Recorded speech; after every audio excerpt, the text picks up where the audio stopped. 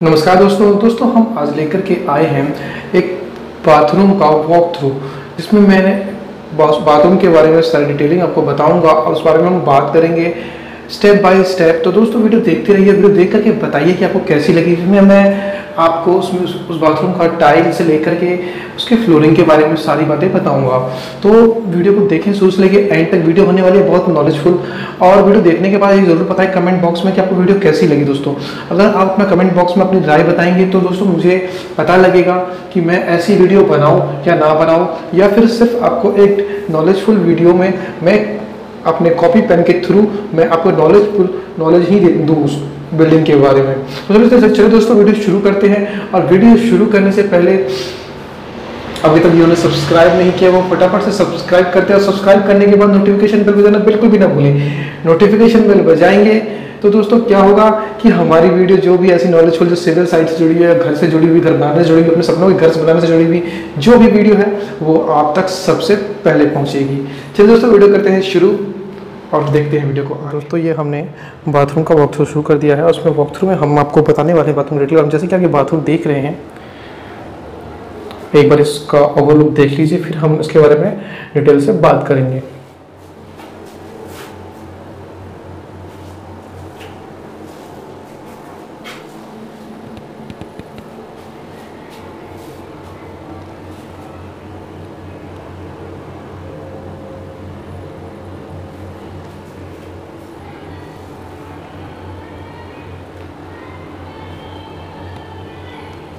जैसे कि आपने इसका एक ओवरलुक देख लिया देख लिया है दोस्तों। अब हम इसके बारे में बताते हैं। अब जैसे कि इसके फ़र्स्ट पे आप टाइल देख रहे हैं, जो कि काफ़ी खूबसूरत लग रही है देखने में। दोस्तों, ये टाइल आपकी 300 बाई 300 की है। ये वह टाइल 300 बाई 300 की है, जिसमें कि आप या ऐसे 300 ऐसे 300 300 वो देख सकते हैं। और दोस्तों, इस बाथरूम का जो साइज़ है, ये काफ़ी छोटा बाथरूम है। इस बाथरूम का जो साइज़ है दोस्तों, वो है पाँच फुट बाई सात फुट दोस्तों मतलब कि ये अगर आप देखेंगे तो इस सामने वाली दीवार से, ये ये सात वाली दीवार, ये आपका पाँच फुट है। और दोस्तों अब यहाँ से इस वाली दीवार से, इस वाली दीवार से और सामने वाली जो लाइटिंग की साइड में जो दीवार है, वो उसका डिस्टेंस सात फुट है। मतलब ये अंदर अंदर ये ऐसे ऐसे पाँच, और ऐसे आपका सात मिलेगा। और ये आप देख सकते हैं वॉल माउंट यहाँ पे वॉल माउंट यहाँ पे सिस्टम लगा हुआ है कमोड लगा हुआ है दोस्तों।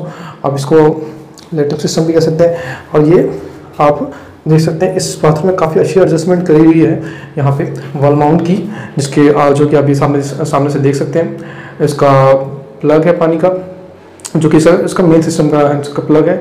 और यहाँ पे ये आप देख सकते हैं सावर पॉइंट दिया हुआ है। तो यहाँ पे मैं कहना चाहूँगा कि अगर आप बाथरूम का बाथरूम के छत की बाथरूम की छत की अगर हाइट रखना चाहते हैं तो कितना, कितनी रखें हाइट दोस्तों ये भी एक बहुत इंपॉर्टेंट क्वेश्चन क्वेश्चन होता है होता है। तो इसमें मैं बताना चाहूँगा कि आप यहाँ सात फुट सात फुट बहुत है सात फुट आप रख सकते हैं। सात फुट सात फुट छः इंच रखना चाहिए स्टैंडर्ड माना जाता है लेकिन सात फुट भी चल सकता है। अब ये देख लेते हैं पॉइंट ये आपका गीजर का पॉइंट दिया हुआ है। इस, इसलिए साथ में यहाँ पे बिजली का पॉइंट भी दिया हुआ है जो आने वाले टाइम में अगर यहाँ पे ऑनर ऑनर यहाँ पे गीजर लगाना चाहे तो वो भी लगा सकता है। और ये दीवार पे जो टाइलें लगी हुई है दोस्तों ये आपकी ऐसे 300 और 300 का चार सौ पचास की टाइल लगी हुई है दोस्तों। अब ये सामने एक देख सकते हैं कमोड के सामने ठीक जो टाइल लगी हुई है। कुछ हिरन और शेर की शेर की टाइल लगी हुई है। ये आपकी दो बाई दो की टाइल है। और जो कि काफ़ी स्टैंडर्ड माना जाता है। क्यों इसलिए अच्छा लुक देने के लिए भी लोग यूज़ करते हैं। कुछ कुछ कुछ हमारे ऑनर की भी रिक्वायरमेंट थी कि इसमें तो वो भी उन्होंने भी बोला था कि उनको कुछ चाहिए इस डिज़ाइन का। तो उन्होंने कमोड के सामने कुछ शेर और हिरन का, इस कारण से भी ये कुछ वास्तु के अकॉर्डिंग अकॉर्डिंग दिया गया है। तो इसको नाप के आप देख सकते हैं, मैं नाप के देख चुका हूँ चुका हूँ। ये ये आपका दो बाई दो का है। अब आप देख सकते हैं अगर फ़र्स्ट कवर में, और हाँ एक चीज़ बात मैं बहुत इंपॉर्टेंट बताना चाहूँगा। अब थोड़ा सा बाहर निकल आते हैं हम बाथरूम के। बाथरूम में जब भी आप आप डोर लगाते हैं, जब भी आप दरवाज़ा लगाते हैं, ये हमेशा आप कोशिश कीजिए पीवीसी मतलब कि एक प्लास्टिक का ही दरवाज़ा लगवाएँ, जो कि आजकल ट्रेंडिंग में है और आपको सजेस्ट भी मैक्सिमम लोग यही करेंगे। थोड़ा सा ये पुराना हो गया है, मगर इस टाइप का दरवाज़ा आपका बाथरूम में ये दरवाज़ा लगाने से आपको फ़ायदा क्या होगा कि ये कभी आपका गलेगा नहीं जल्दी, गलेगा नहीं जल्दी। आप चाहे वो आप चाहे इसमें चाहे आप इसमें लगा लें किसी भी चीज़ का, जैसे कि लकड़ी का लगा लें, चाहे आप लोहे का लगा लें तो आने वाले एक टाइम के बाद वो आपका दरवाज़ा गलेगा ही गलेगा अच्छा इसमें दरवाजे की खासियत क्या है दोस्तों? इसमें जब दरवाज़ा लगाते हैं तो इसमें ये हैंडल ये हैंडल और ये जो लॉक का सिस्टम है, ये सब कुछ आपका प्लास्टिक का आता है। प्लास्टिक का होगा तो अलमोनियम का होगा जिसके और ये इधर भी देख हैं दोस्तों ये ये प्लास्टिक का है ये भी प्लास्टिक का है। और दोस्तों ये अंदर से खोखला होगा ये कुछ थोड़ा सा पुराना और लग रहा है लग हो गया है दरवाज़ा उसको देख सकते हैं ये बीच में अंदर से यहाँ पे अंदर से फिटिंग नहीं हुई है तो यहाँ पे आप देख सकते हैं ये अंदर से बिल्कुल खोखला है और ये खोखला होता है। और अब अभी के टाइम पे तो बहुत अच्छे बहुत फर्निश्ड वेल फर्निश्ड दरवाजे आ रहे हैं इस, टाइप के जिसमें कि आपको अगर उसका चौकट भी लगेगा जिसमें आपको चौकट भी लगेगा तो वो भी आपका होगा प्लास्टिक का होगा। पर दोस्तों यहाँ पे यहाँ पे एमएस का चौखट लगवा रखा है, है ऑनर ने और जिसके कारण और इसमें जो दरवाज़ा फिटिंग करवा रखी है वो प्लास्टिक की करवा रखी है।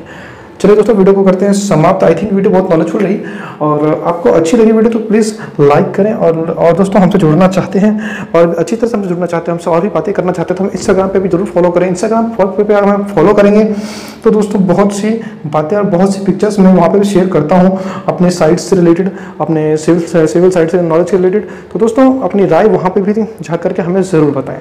चलो दोस्तों, जय हिंद, जय भारत। मिलते हैं अगली वीडियो में।